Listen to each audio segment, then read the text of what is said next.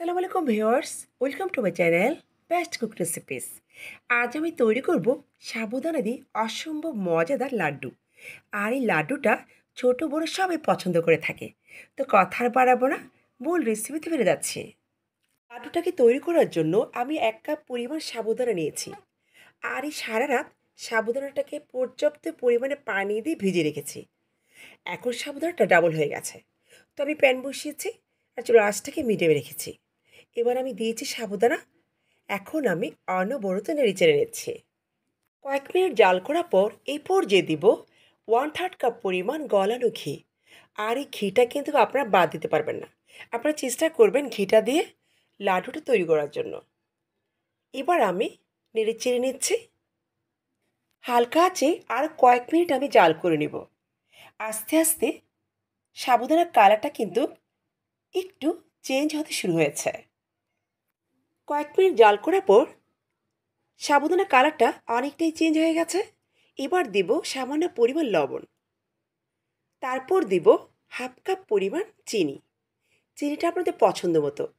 যারা মিষ্টি খেতে পছন্দ করেন, চিনিটা বাড়িয়ে দিতে পারেন। আর যারা কম খেতে পছন্দ করেন সেই ক্ষেত্রে চিনির পরিমাণটা কমিয়ে দিতে পারেন। এখন আমি অনবরত নেড়ে চেড়ে দিচ্ছি। নাড়াচাড়া একদমই বন্ধ করা যাবে না। আর আস্তে আস্তে পানি কিন্তু বের হতে শুরু হয়েছে। দেখতেই পাচ্ছেন কতটা পানি বের হয়েছে। এবার আমি অনবরতে নেড়ে চেড়ে নিচ্ছি। নাড়াচাড়া কিন্তু একদমই বন্ধ করা যাবে না। কয়েক মিনিট জাল করার পর পানিটা কিন্তু শুকিয়ে গেছে। এরপর যে দিব দু চা চামচ পরিমাণ চালুর গুঁড়ো। এটা সম্পূর্ণ অপশনাল ভালো লাগলে দিবেন, ভালো না লাগলে বাদ দিতে পারেন।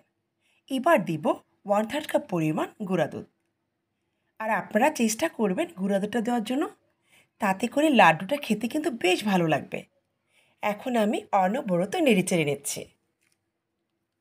এই পর্যায়ে সাবুদানার মিশ্রণটাকে আমি চার ভাগে ভাগ করে নিয়েছি। আমি ফুড কালার ইউজ করব। আমার পছন্দ মতো আমি দিয়ে দিচ্ছি আর আপনারা আপনাদের পছন্দ মতো যে কোনো ফুড কালার ইউজ করতে পারেন। তবে এটা সম্পূর্ণ অপশনাল ভালো লাগার জন্য দিচ্ছি। আর হাতের কাছে না থাকলে না দিলে কোনো সমস্যা নেই।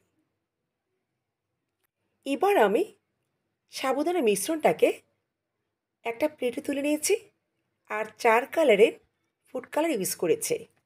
এবার আমি লাড্ডুগুলোকে তৈরি করে দেখাচ্ছি।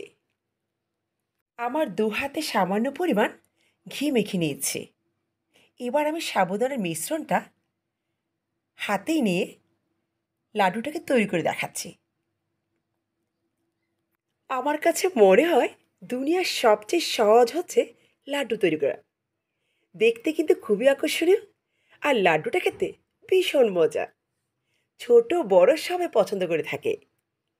খেতে কতটা দারুণ হতে পারে আপনার ট্রাই না করলে বুঝতেই পারবেন না। আর এই লাড্ডুটা যদি বাচ্চারা পায়, কি বলব? হুমড়ি খেয়ে পড়ে খাবে। এতটাই দারুণ হয়েছে। কম সময় তৈরি হয়ে গেছে আবার আকর্ষণীয় রং বেরঙের লাড্ডু। আমার রেসিপিটি কেমন লেগেছে? যদি ভালো লেগে থাকে লাইক কমেন্ট শেয়ার করবেন।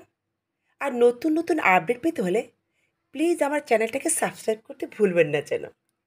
এতক্ষণ পর্যন্ত যারা আমার ভিডিওটি দেখেছেন, তাদের সকলকে অনেক অনেক ধন্যবাদ জানাচ্ছি। সবাই ভালো থাকবেন। আল্লাহ হাফেজ।